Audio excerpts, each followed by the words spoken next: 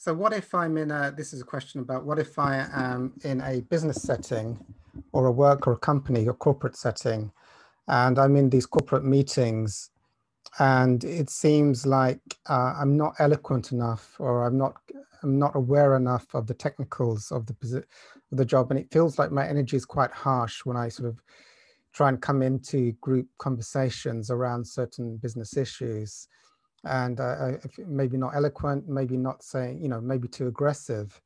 How can I sort of bring more softness and love into the situation?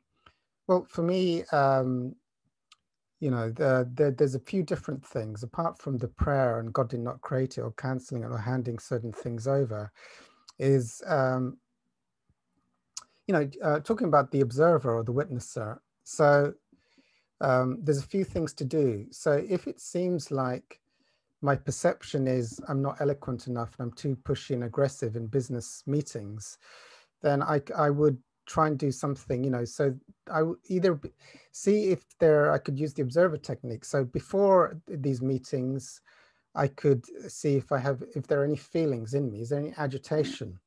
Can I go to the observer of the agitation and can I collapse the agitation by being the witnesser of the agitation? Um, next thing is um, if there are any thoughts, like, you know, I might have a negative thought come up like, oh, you were too aggressive. You were too aggressive in the way you interrupted everyone in the last business meeting. So can I go to the observer of those thoughts? And who am I that is upset by, by what, how I behaved and how I spoke? And can I go to the observer of the me? What's witnessing the me that has done the wrong thing? And is the witnesser of the me who did the wrong thing um, am I the witnesser of the me or is the me the me? So in that way, then I go to, I collapse the idea that there was a me that did anything wrong by going to the witnesser and letting go of the identification of, of a me that has done wrong things and is holding on to wrong things. The other way, which is much more difficult, but um, if you listen to this, I'll be putting this video up on YouTube.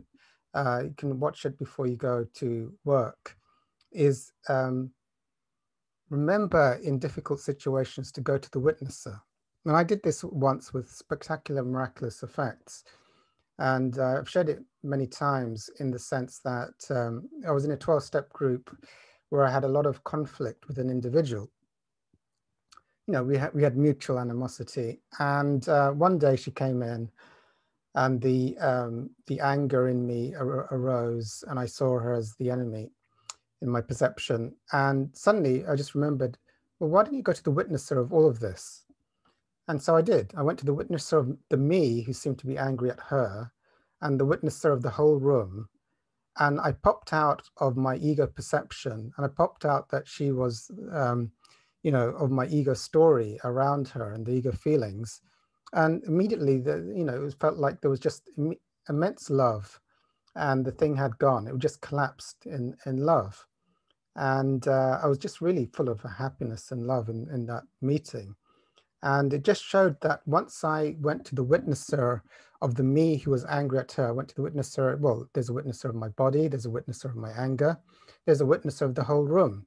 And by going to the witnesser, it just collapsed everything. So uh, maybe play, if you want to play this video before you go, before you go to work or before business meetings, you know, even though you have to be aware of how you're going to answer in business meetings, see if you can be the witnesser. What's witnessing the individual you that is being abrupt or needs to show that they are capable in the meeting? Is the witnesser involved in, the, in your personal story? So if you can go to that, that will collapse, that will collapse your the, the personal story of what's going on in those business meetings. Also go to the fear uh, and uh, go to the observer of that, or if there's anxiety in business meetings or whatever is coming up, and that will start to. So if you do that over and over again in business meetings, what will happen is you'll collapse the uh, limited thought identifications and the feeling identifications.